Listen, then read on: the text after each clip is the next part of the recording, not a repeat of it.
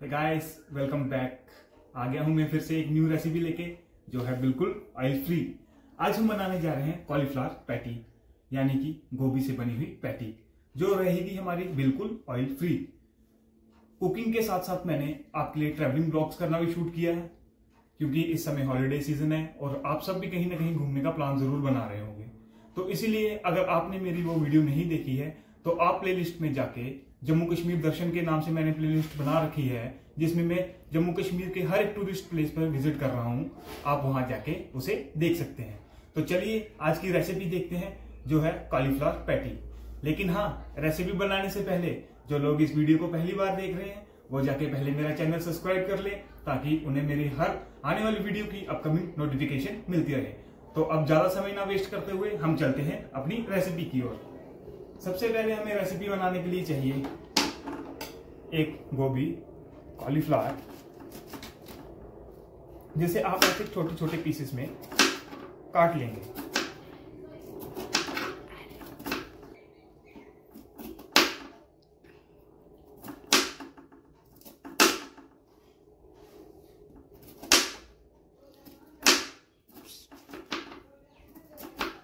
ये हमारा गोभी कट चुका है। अगर आपके पास हरे प्याज है तो आप हरा प्याज ले सकते हैं। लेकिन मैं इस प्याज का यूज़ कर रहा हूँ। इसे भी आप छोटे छोटे पीसेस में काट लेंगे। बिल्कुल छोटे छोटे स्क्वेयर टाइप पीसेस में हम इसे काटेंगे।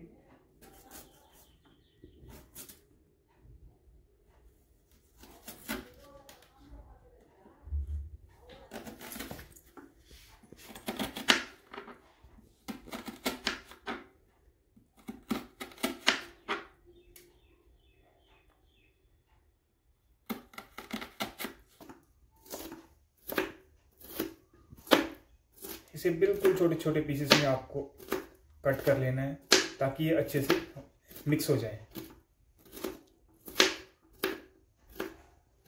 ठीक है अब हम कॉलीफ्लावर को डाल रहे हैं थोड़ी देर गर्म पानी में, ताकि ये अच्छी तरह उबल के सॉफ्ट हो जाए।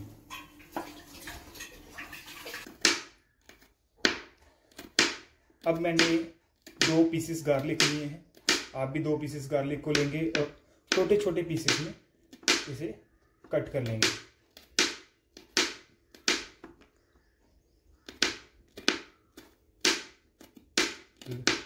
धनिया को भी छोटे छोटे पीसेस में बिल्कुल छोटे छोटा कर लेंगे।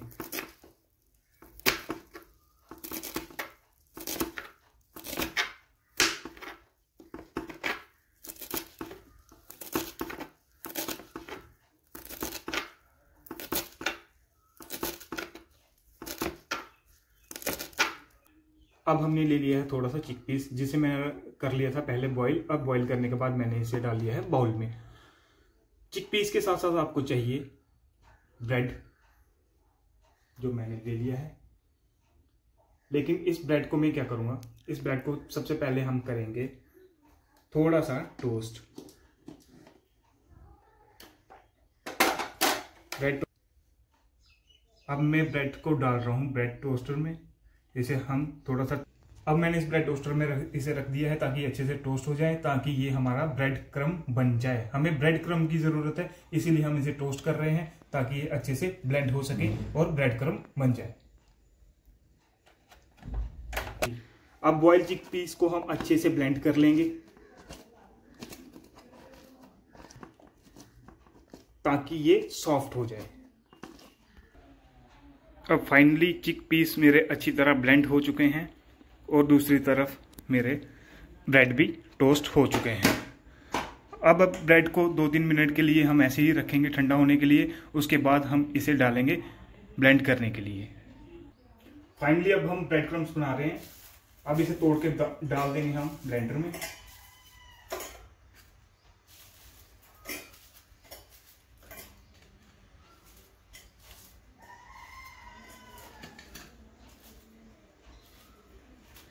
अब आप देख सकते हैं, ये मैंने ब्लेंडर में डाल दिया है। अब हम करेंगे इसे ब्लेंड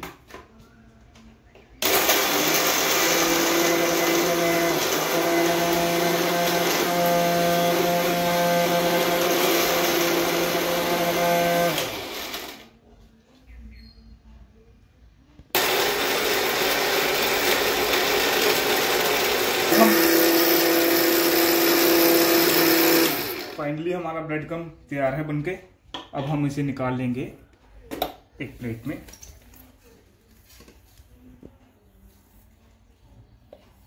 अब हमारा कॉलीफ्लावर यानी कि गोभी भी उबलकर सॉफ्ट हो चुका है। अब हम इसे मिक्स करेंगे हमारे चिक पीस में और अच्छी तरह से इसे भी करेंगे ब्लेंड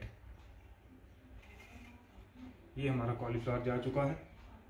अब हम इसे अच्छी तरह करेंगे ब्लेंड ताकि इन दोनों का मिक्सचर अच्छे से हो जाए और हमें चिक पीस और कॉलीफ्लावर में कोई डिफरेंस पता ना चले।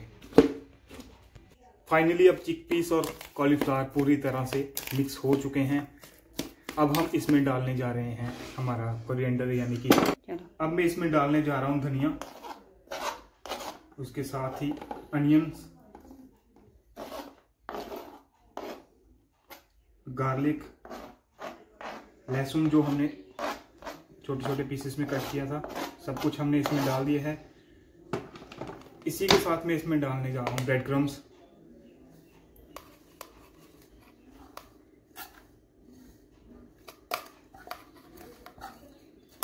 अब मैं इसे अच्छी तरह से करूँगा मिक्स और अब हम साथ साथ में ही इसमें ऐड करेंगे स्वाद अनुसार नमक।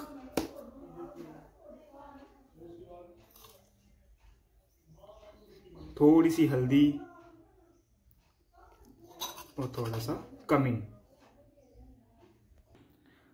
फाइनली अब हमारा मिक्सचर बनकर तैयार है। अब हम इसे गोलाकार, यानी कि टिक्कियों के शेप में बना लेंगे।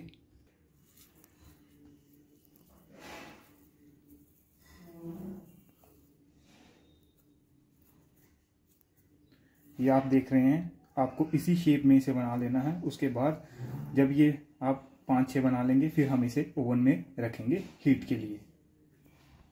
फाइनली मैंने दस बारह बना लिए हैं, अब हम इसे ओवन में रखेंगे बीस मिनट के लिए, फिर ओवन से निकालेंगे, फिर ये हमारे ऑयल फ्री कॉलीफ्लावर पैटी बनकर बिल्कुल रेडी हो जाएँगी खाने के लिए। अब हम इसे प्लेस कर रहे हैं ओवन में। अब मैं इसे ओवन में प्लेस करने जा रहा हूँ। अगर आपके पास ओवन नहीं है इस समय तो आप इसे नॉन स्टिकी पैन में भी बना सकते हैं। और फाइनली ये मैंने इसे ओवन में प्लेस कर दिया।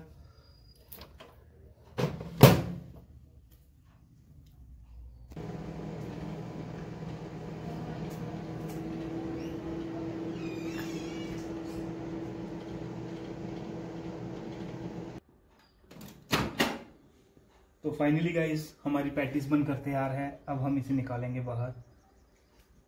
ये आप देख सकते हैं। अब ये खाने के लिए बिल्कुल रेडी है। ऑयल फ्री पैटीज हमारी। अब हम इसे प्लेट में डाल लेंगे।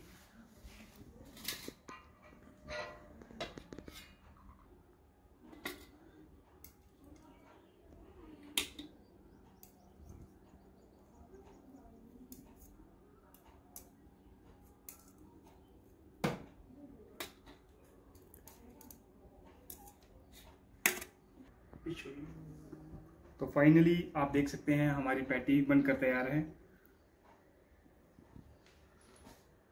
आप भी इस रेसिपी को ज़रूर ट्राई करें और कमेंट बॉक्स में लिखकर मुझे बताएँ कि ये रेसिपी कैसी बनी। और अगर आपने मेरे चैनल को अभी तक सब्सक्राइब नहीं किया है तो मेरा चैनल सब्सक्राइब कर लें ताकि आने वाली हर एक वीडियो की नोटिफिकेशन आप तक पहुँचती रहे।